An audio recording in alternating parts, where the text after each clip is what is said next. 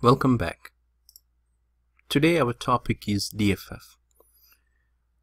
So in this in this video we would cover how to find a DFF if you're given a if, if there's a table from for a given table how do you create a custom table and register it to eBusiness apps and how do you register a DFF for that particular table and we are also going to look at the tables behind the descriptive flex fields so the two key benefits that I see with descriptive flex fields is one this allows descriptive flex fields allows users to store more information into the database without coding or customization or without even altering the structure of the underlying table. The, the other advantage would be that the, the context sensitiveness of the descriptive flex field. So for example, attribute 1, I can use it to store FedEx tracking number for team A and the same field can be used to store inventory tracking inventory record tracker for team B. This is by leveraging the context sensitiveness.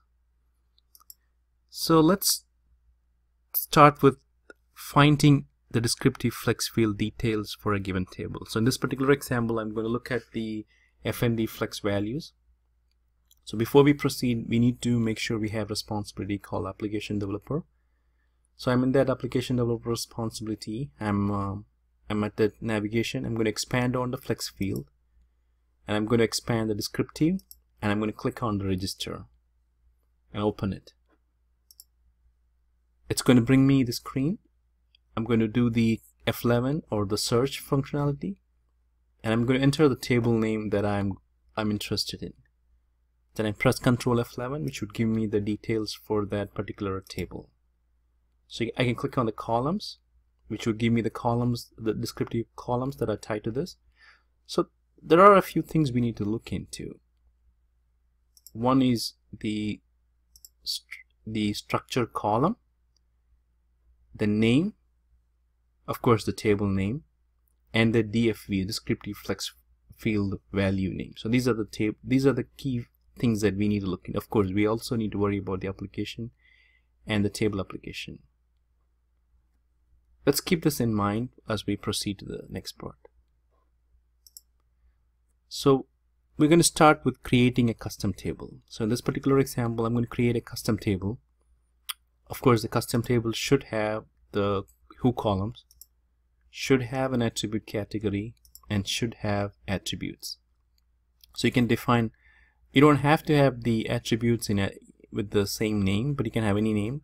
But it's it's preferred to have uh, the names in the attribute one through format. So why attribute category? If you look at the descriptive flex field, if you notice that there is a structure column, the structure column has value category, so that correspond that should correspond to the attribute category. In this particular table, they have defined it as value category, but in the table that I'm going to create, I'm I'm specifying it as attribute category. You would uh, this will be clear as we go through it. So I've created the table. I ran the script. So our next step is to register the table into the eBusiness and and we will then add it to the descriptive flex field.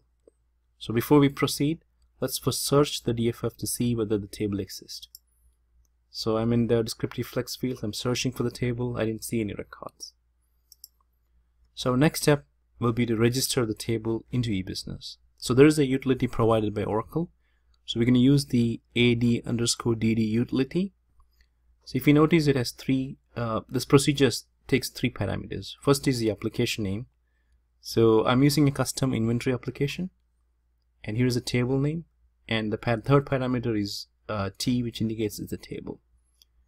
So once I register the table, I will register the columns that are tied to the table. So I've, what I've done is I've created a, a, a, a SQL statement that will give me all the all the all the columns for a particular table and in the format that I need. So I'm going to create, uh, I have, so I have to create, so I have this AD register column utility. So basically I'm going to get the information from the SQL the way in which I want it for the script to run. So I put the begin and end clause for it. And um, if you notice that the register column will take the of course the application the table name the column name the sequence what type of column it is and whether it's a primary key or not so you, you click on one you ex execute the script I can go to the uh, application developer expand on application expand on the database click on table. Then I can search for the table name that I just registered.